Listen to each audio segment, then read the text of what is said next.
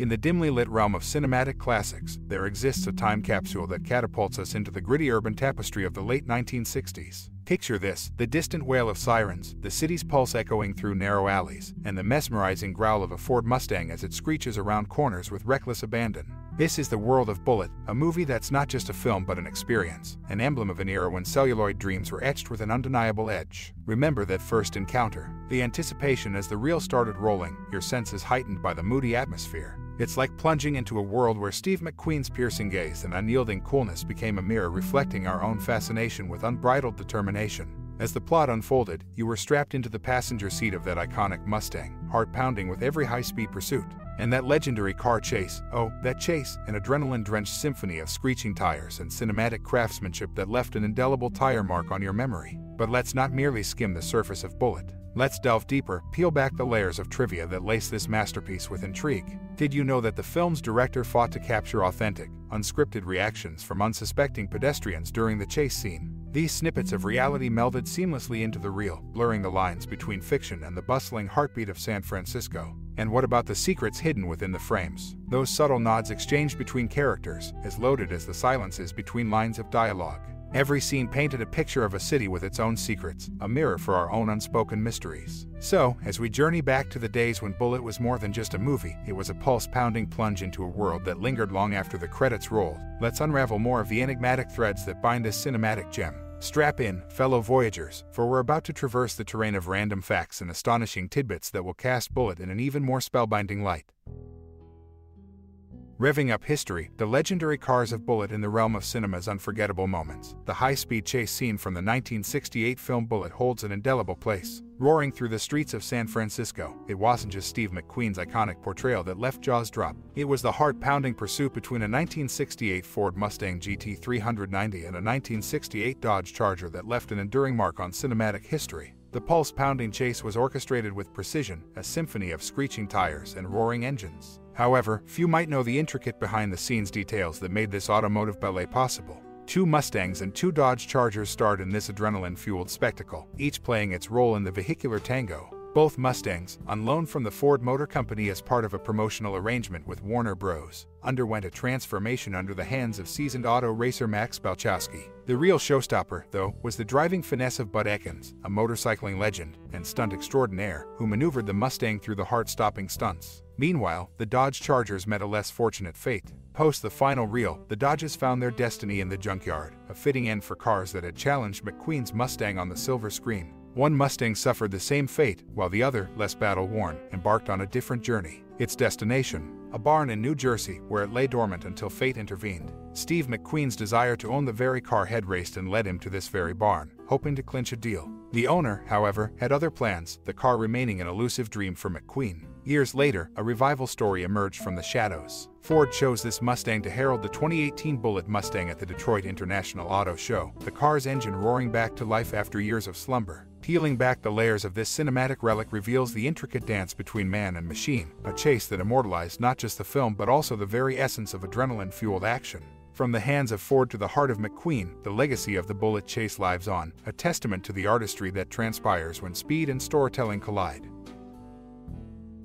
In the iconic 1968 film Bullitt, directed by Peter Yates, a lesser-known yet intriguing behind-the-scenes fact shines a light on the meticulous artistry of filmmaking. Surprisingly, approximately half of the movie's scenes were filmed without live dialogue or sound effects. Instead, the ambient noise and spoken lines were added during post-production. This technique, while unconventional, allowed the filmmakers to capture authentic ambient sounds during shooting, preserving the raw atmosphere of the scenes. The decision to loop in sound later showcased the film's commitment to achieving a cinematic realism that went beyond the norm. Amidst the production, a clash of wills between star Steve McQueen and director Peter Yates led to a showdown that left a memorable mark. After McQueen's car collision mishap, his wife Neile Adams urged Yates to employ stuntmen for safety. The outcome, McQueen, upon reporting for duty, found himself face to face with a surprising sight. Stuntman Bud Ekins sitting in McQueen's car, complete with McQueen's attire. This unexpected move incited fury in the star, illustrating the intense dedication and control McQueen sought to exert over his role in the production process. The film's leading character, Lieutenant Frank Bullitt, sported a distinct, casually stylish ensemble that became a topic of conversation during and after the film's release. His turtleneck paired with a sport coat, slacks, and suede-like shoes was a sartorial choice that sparked interest. However, the costume's significance extends beyond fashion. Set over a Saturday and Sunday, Bullitt's weekend attire aligned with some police departments' relaxed dress codes for plainclothes officers during off-duty hours. Notably, the character's initial appearance in traditional business attire was supplied by Dougie Hayward's, a respected menswear shop in London, England, demonstrating the level of detail invested in crafting Bullitt's on-screen persona. In the backdrop of this cinematic masterpiece, these lesser-known facets deepen our understanding of the dedication, creativity, and attention to detail that went into making Bullitt an enduring classic.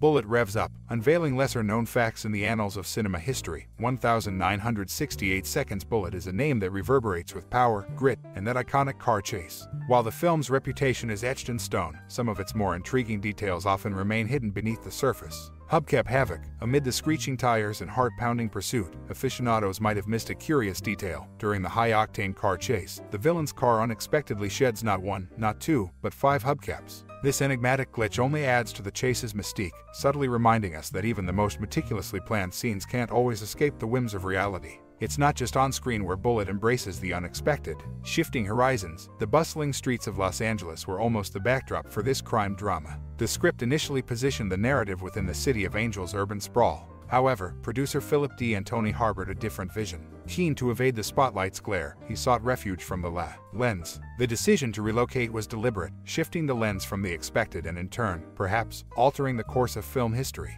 As we untangle the strands of cinematic folklore, one misconception comes to light.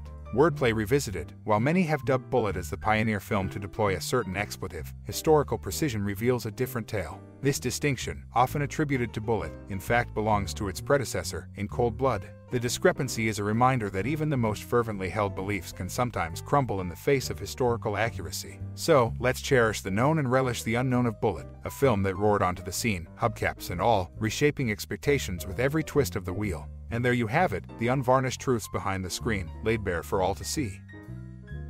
In the 1968 film Bullitt, Mimi Farina, the lesser-known sister of famed Joan Baez, makes an uncredited appearance. She portrays the lunch guest of Eddie, Lieutenant Frank Bullitt's confidential informant, during a scene at Enrico's in North Beach. This subtle cameo adds a touch of unexpected star power to the movie's ensemble. However, a more prominent architectural detail also draws attention. Jacqueline Bisset's character, Cathy, is depicted working on water flow calculations for a modernist fountain. This fountain, a model titled Quebec Libre, by Canadian sculptor Armand Vaillancourt, was a real project under examination during the film's production. While the movie showcases the model in black, the final fountain was constructed in natural gray concrete and unveiled in 1971. It stands today at San Francisco's Embarcadero Center, a testament to the film's connection to the city's evolving landscape. Of course, no discussion of Bullitt is complete without mentioning the iconic cars. Frank Bullitt's vehicle of choice is a 1968 Ford Mustang 390 GT2 Plus 2 Fastback, emblematic of his rugged and daring character. The antagonists, on the other hand, opt for a 1968 Dodge Charger 440 Magnum, offering just a slight edge in speed with a 13.6 second quarter mile compared to the Mustang's 13.8 second. This thrilling automotive rivalry underscores the film's commitment to high-octane action. Bullitt, directed by Peter Yates, remains a classic of the action thriller genre. Its attention to detail, from uncredited appearances to architectural nods, contributes to its enduring appeal. Whether on the streets of San Francisco or in the hearts of cinema enthusiasts, the film continues to rev its engines, engaging audiences with its dynamic narrative and unforgettable moments. As we bid adieu to the captivating realm of Bullitt, we find ourselves transported through time, our souls entwined with the essence of 1968. Just as the iconic Mustang roared through the streets of San Francisco, its engine's reverberations echoing through cinematic history, so too does this masterpiece echo within our hearts. Dear reader, you've embarked on a journey alongside McQueen's enigmatic detective Frank Bullitt, a voyage that transcends mere celluloid. The atmospheric jazz that permeates the film's corners, the tension that hangs in the air like fog over the bay, these are sensations imprinted on your senses, moments of pure artistry forever etched into the tapestry of your memories. But let us not part ways here. No, let us dive deeper into the introspective abyss that Bullitt beckons us toward. What resonates within you as Bullitt's charged chase unfolds? Is it the way the cityscape mirrors the labyrinth of your mind, or perhaps the enigmatic glances exchanged, saying more than words ever could? As the final frames flicker, let this not be an end, but an invitation, a reminder that we are all, in our own ways, detectives navigating the convoluted avenues of life. So, share with us your thoughts, your cherished fragments of connection to this celluloid marvel. Whether it's the first time you witness that breathtaking pursuit or the quiet conversations that spoke louder than explosions, your voice adds to the symphony of homage. Thank you, kind traveler of time and celluloid, for indulging in this shared contemplation. Your presence enriches the legacy of Bullitt, infusing it with a vitality that surpasses the constraints of eras. Until our musings cross paths once more, keep the Mustang of your memories alive, forever racing through the alleys of nostalgia. Reflect, share, and remember, imbue the past with your present. After all, it's your story that weaves the grand tapestry of cinema's allure. With cinematic fervor,